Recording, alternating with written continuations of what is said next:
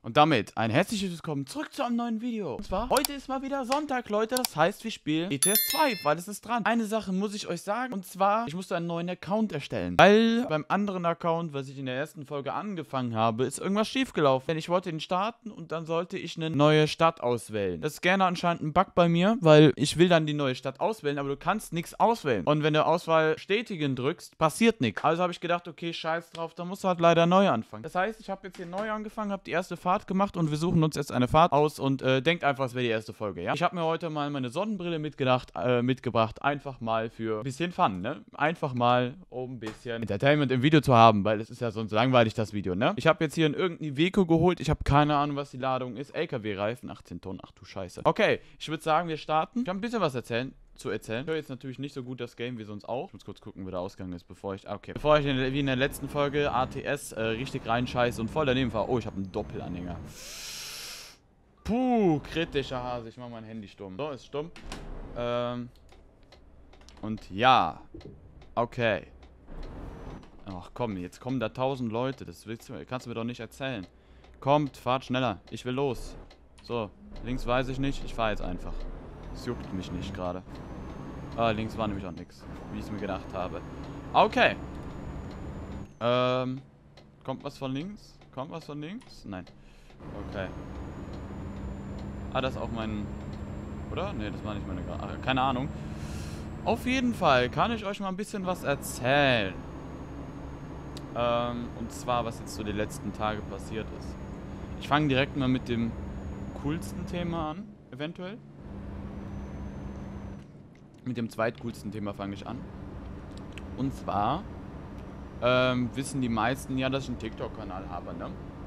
Und die ähm, Aufrufe waren immer in Ordnung. Für ein Short-Video. Oh ja, ich wollte ein neues TikTok-Video hochladen. Das mache ich nach dem Video. Ähm, das nehme ich, am, by the way, auch wieder am Samstag auf. Samstagmorgen.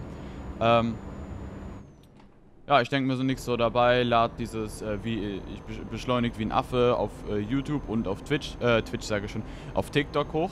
Denk mir nichts dabei, denk so, alles klar, es kriegt so 100 Aufrufe auf TikTok, vielleicht 300 und auf YouTube vielleicht auch so in dem Dreh. Erstens, ich war auf TikTok danach, nach diesem Video, gar nicht aktiv. Also ich habe gar nicht aktiv geguckt, wie viel Aufrufe es bekommen hat. Ne?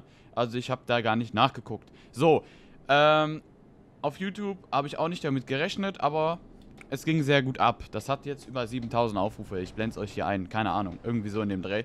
Und äh, dann habe ich mir gedacht, okay, komm, gehst du mal einfach auf TikTok online. Weil ich wollte das nächste TikTok uploaden, glaube ich. An dem Tag, ja. Ähm, habe ich gedacht, okay, guckst du mal nach, weil du musst ja eh gerade was, du willst ja gerade eh das nächste TikTok schon mal hochladen. Und dann fällt mir auf, dass das beschleunigt wie ein Affe TikTok einfach 16.000 Aufrufe hatte. Hatte, weil es hat jetzt 19,1 oder so. Vielleicht jetzt ein bisschen mehr. Ich weiß nicht, was da passiert ist, aber okay, es ist abgegangen und ich habe nicht dachte gerade, die Geräusche kommen vom LKW. ich habe gar nicht darauf geachtet, ich habe damit nicht gerechnet. Ich habe gedacht, okay, so normale Aufrufe wie sonst auch. Vielleicht auch mal 1000. Aber mit äh, 16.000 beziehungsweise jetzt 19.000 Aufrufen habe ich nicht gerechnet. Habe gedacht, okay, cool, ist mal ein Video, was viral gegangen ist. Warum nicht, ne? Lade ich das nächste TikTok-Video hoch. Denke mir, okay, jetzt gucke ich mal ein bisschen aktiver, einfach um zu wissen, was denn da so passiert. Ich gucke, und ich gucke. Und dann denkt sich das Video, ja, also wenn ein Video viral geht, gehe ich auch mal viral. So war es auch. Das hat jetzt, weiß ich nicht, er hat bestimmt jetzt mehr. Es hatte, glaube ich, gerade eben 14.400 Aufrufe oder so. Also 14.400 Aufrufe. Ich habe Follower dazu bekommen, auch. Und Kommentare. Ich denke mir so, nein. So, nach zwei Stunden. Ich gucke Real Talk nach zwei Stunden auf TikTok, was denn da so abgeht, so. Als ich das neue ah, TikTok-Video geuploadet habe. Auf einmal sehe ich, Digga, es geht ab. Es hat 1000 Aufrufe oder 2000. Aktualisiere jede Sekunde. Und es hat jedes Mal mehr Aufrufe. Ich so direkt, nein, kannst du mir nicht erzählen. Walla, kannst du mir nicht erzählen. Es ging immer höher mit meinen Freunden äh, geschrieben, Digga, mit Bully, ähm, kennt ihr vielleicht nicht alle. Ähm, mit Daniel, dem 59er Daniel, also 5,9 Daniel. Alter, ich so, Real Talk, ist das jetzt real oder träume ich gerade, ne? Nein, ich träume nicht. Ich sehe es heute schon noch und es ist immer noch so hoch. Und ich sag's dir, das ist nicht geboddet, glaube ich nicht. Ähm, auf jeden Fall. Ja, habe ich mich sehr gewundert, Digga. Natürlich auch gefreut. Ich habe mir so gedacht, nee, Digga, das passiert nicht gerade. Real Talk. Ähm, und ja, ich werde hier nach dem Video ein neues TikTok-Video geuploadet haben. Das heißt, wenn ihr das hier seht, ist dieses TikTok, das neue, das neue TikTok-Video auf YouTube auch noch draußen. Und ähm, auch schon einen Tag alt, über einen Tag alt, weil das werde ich ja um 12 Uhr oder so. Wir haben jetzt gleich 12 Uhr, äh, mittags, nicht, nicht nachts. Ich nehme keine Videos nachts auf, das, das mache ich nicht. Ähm, genau, weil ich jetzt, jetzt kann ich noch am besten reden, ähm, weil um 12 Uhr nachts sind meine Oma und Opa im Bett. Die, sind, die leben halt direkt über mir, also wenn sie schlafen, also im Schla ihr, Schlaf ihr Schlafzimmer ist halt direkt über mir. So. Aber wenn ich dann irgendwie laut rede, kriegen die natürlich alles mit. Das ist natürlich Käse. Und ich habe auch keinen Bock, um 12 Uhr nachts noch ein Video aufzunehmen, ehrlicherweise. Weil ich bin einfach müde und will einfach dann nur schlafen. Ne? Oder meine restliche Zeit, die ich noch in, an dem Tag habe, genießen. Zurück zum Thema.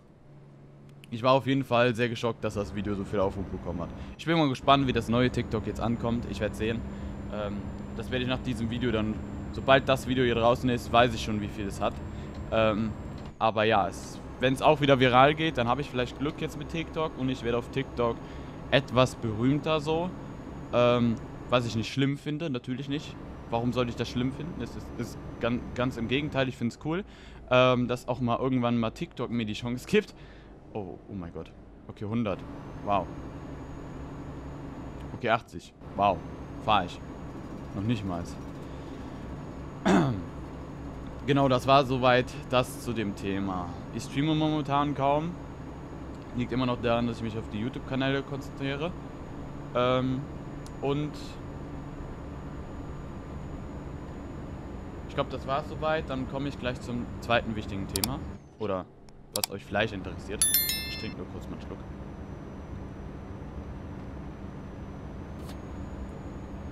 So. Ui, ah, ich muss lenken. Ich sehe auch gar nicht, ob ich schalten muss oder nicht. Bei 20 bin ich, ja, das geht ja noch. Äh, warte. okay, jetzt geht's wieder. Und zwar der zweite coole Punkt. Diese Woche, Mittwoch, hatte ich meine Fahrprüfung. Also meine Führerscheinprüfung. Also, ja, die praktische halt. Nicht die Theorie, sondern das praktische Autofahren. Bum, bum. Ne. Äh. Ja, was soll ich sagen? Ich bin jetzt glücklicher Besitzer eines Führerscheins. Ich habe den Mittwoch tatsächlich auf Anhieb bestanden, wo ich froh darüber bin, weil jetzt, jetzt denke ich mir, ich habe alles hinter mir momentan. Ne? Es sei denn, ich will LKW-Führerschein oder sonst irgendwas machen. Ansonsten habe ich jetzt erstmal Fahrschule hinter mir.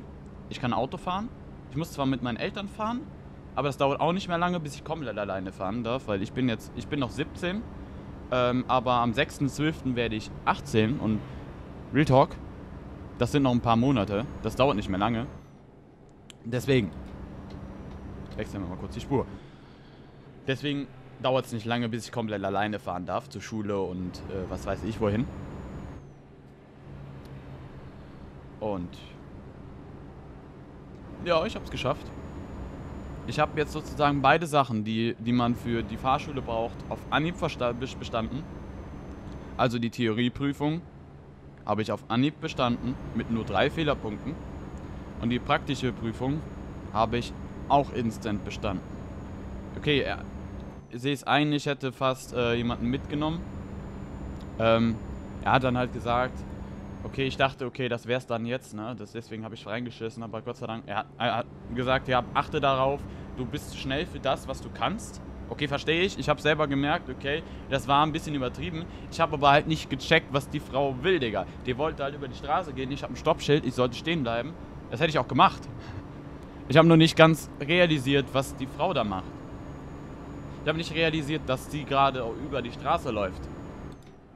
Habe ich dann gerade so früh noch gesehen, dass bevor mein Fahrlehrer irgendwie in irgendeiner Art und Weise eingegriffen hat, ich glaube, sonst hätte mein Fahrlehrer irgendwas gesagt äh, oder eingegriffen. Deswegen, ähm, ich habe gerade so noch reagiert in irgendeiner Art und Weise.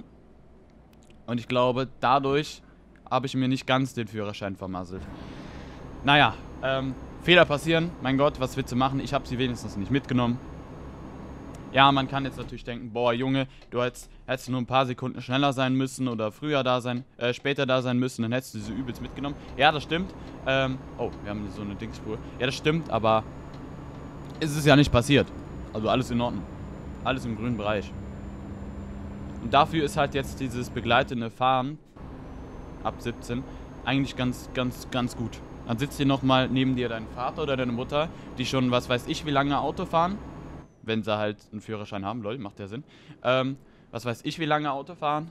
Und das ist natürlich dann nochmal umso besser. Die können dir dann nochmal Tipps geben, sagen, du machst das und das, so, ne?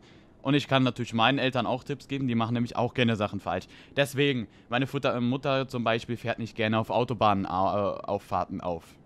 Mir ist das scheißegal, ich kann das. Aber meine Mutter, ähm, die kann das absolut gar nicht gut. Ähm, gut, ich kann es an einer Seite nachvollziehen. Sie mag generell nicht Autobahnen so richtig zu fahren. Mir ist es egal, ich komme mit allem zurecht. Aber meiner Mutter, ähm, ja.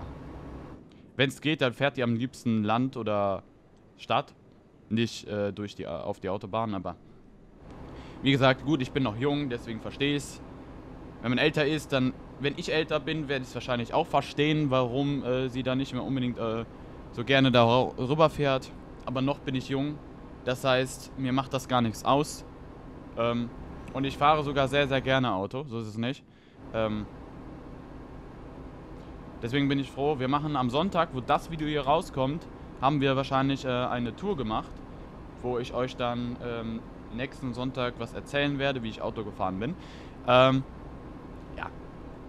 Ab Montag fängt ja schon wieder die Schule an, also für euch dann morgen. Also für mich dann morgen. Ähm, kann auch sein, dass ihr schon längst wieder Schule habt. Es gibt da viele Länder, die, bei denen ist es unterschiedlich.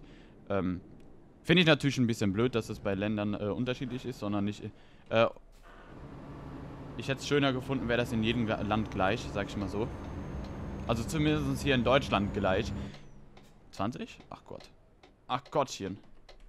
Ähm, ne, also zum Beispiel in Rheinland-Pfalz und Nordrhein-Westfalen, da sind die Ferien anders. Das, das triggert mich ein bisschen.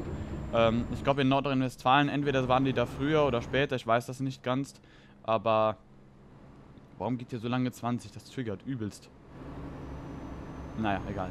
Ähm, aber was soll ich jetzt noch sagen? Ich habe gerade so den Faden verloren. Es tut mir leid, Leute. Ich habe hier wirklich gerade übelst verloren. Er ist weggeflogen. Keine Ahnung, wohin. Ähm, ja. Genau. Es tut mir leid, ich habe es gerade Real Talk vergessen. Wo war ich denn gerade dran? Ja, mit Autofahren. Naja, auf jeden Fall, ähm, ja. Ich glaube, es war so relativ zu Ende. Ich hoffe es. Ähm, wir sind jetzt jeden Moment da. Schon, komischerweise, es kam mir jetzt ziemlich schnell vor. Gut, ich habe auch viel gelabert. Ähm, davon abgesehen. Habe mich relativ an die Geschwindigkeit gehalten. Relativ, nicht komplett zu 100%. Das hat man gemerkt. Manchmal war ich drüber. Aber ja. Ich hoffe, ich habe nichts zu vergessen zu erzählen. Und ansonsten solltet ihr unterhaltend sein. Äh, ansonsten sollte ich euch unterhalten haben, euch nicht gelangweilt haben, weil ich äh, was erzählt habe, also nicht nur Gameplay gesehen habt. Ähm, und dann sind wir alle glücklich, ne? Äh, auf ein Abo, äh, über ein Abo würde ich mich natürlich sehr gerne freuen, ist ja klar. Genau wie ein Like und gerne auch einen Kommentar, wie es euch gefallen hat, wie ihr es findet, wie euch das triggert, dass ich einen neuen Account machen musste, wegen so einem Scheiß. Mich triggert es von 10, 10 von 10. Ähm, aber ja, oh, 30. Oh Gott, nee. Okay. Also die Fahrt ist ja voll langweilig jetzt hier. 30, als ob ich bis jetzt dahin... Oh, muss jetzt noch 30 bis dahin tuckeln. Was soll das? Why? Hier ist nix. Da vorne endet es, glaube ich, wieder. Wow, genau da. Da, da es mich aber einen Scheiß, weil ich hier gleich rein muss. Ah ne, da steht auch nochmal 30. Boah, geht mir das auf den Keks. Wirklich. Uff. Ähm, hier rein? Nein. Doch. Nee. Hier hinter. Ah, besser ist es. Ja, da kommt wieder 70, ist klar, ne? Alter, was ist das denn hier? Was ist das denn für ein komisches Dings? Okay, dann würde ich sagen, wir parken... Oh, Wir können nur vor... Ach ja, stimmt. Ich habe ja einen Doppelanhänger. Ich habe schon wieder Gas, Gas, Gas, Gas, Gas, Gas, Gas. Wenn man hier 30 macht, okay.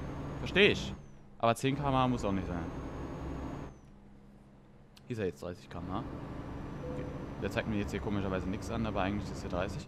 So, den stellen wir schön hier hin. Easy. Und dann war es das schon mit der Folge. Und es waren nur 16 Minuten. Und ich stehe hier noch nicht gut drin. Ah, ich muss noch ein bisschen vor. Ich stehe noch nicht genug drin. Zödele! Dann laden wir die ganze Kacke mal ab. Und dann haben wir es mit dieser Folge geschafft. Wenn, wenn ja, was? Wenn es euch gefallen hat, lasst gerne einen Daumen nach oben da. Abonniert diesen Kanal, falls ihr das noch nicht gemacht habt. Schaut auf meinen TikTok-Kanal vorbei. Joint den DC-Server. Macht den ganzen Scheiß. Guckt einfach generell in die Beschreibung. Dann wisst ihr schon Bescheid. Ich habe hier noch irgendeine Fähigkeit. Dann machen wir kurz hier noch Fernfahrten anwenden. Und dann würde ich sagen, sehen wir uns im nächsten Video wieder. Bis dahin. Haut rein und ciao. Abonniert diesen Kanal, um nichts mehr zu verpassen. Abonniert diesen Kanal diesen Kanal, klickt auf das letzte Kackvideo. Ab. Abonniert diesen Kanal, lol.